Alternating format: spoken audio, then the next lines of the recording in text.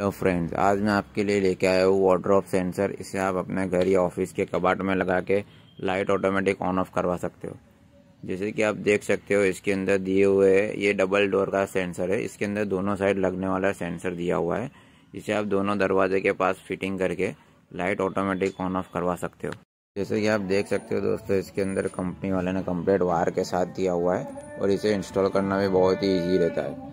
इसके अंदर कंपनी वाले ने दोनों तरफ़ आउटपुट और एक तरफ़ इनपुट जैसे आप देख सकते इधर आउटपुट लिखा है। आउटपुट वाला जो वायर है, वो आपके लाइट में जाएगा, जैसे प्रोफ़ाइल लाइट के अंदर आप लगा देंगे, और ये इनपुट है।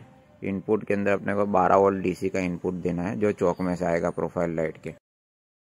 जैसे कि आप देख सकते हो कि पूरा एक एक मीटर जैसा वायर दिया हुआ है, और ये जो बीच में डब्बी है, वहाँ से एक मीटर इस तरफ़ जाता है, ये सेंसर का वायर है, ये सेंसर है। और ये है दूसरा सेंसर जिसका दूसरा वायर दूसरे कबाट के दरवाजे की तरफ़ जाएगा।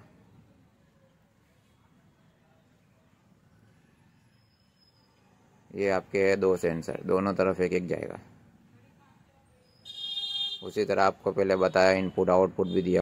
भी आप देख सकते हो, देखो जैसे दरवाज़ा और खोलते लाइट तुरंत ऑन हो जाती है। ये यहाँ पे अपना सेंसर लगा हुआ है छोटा सा वैसे ही दूसरे दरवाजे पे भी आप देख सकते हो, जैसे ये दरवाज़ा खुला, लाइट ऑन हो गई।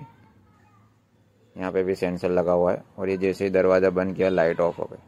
Thank you friends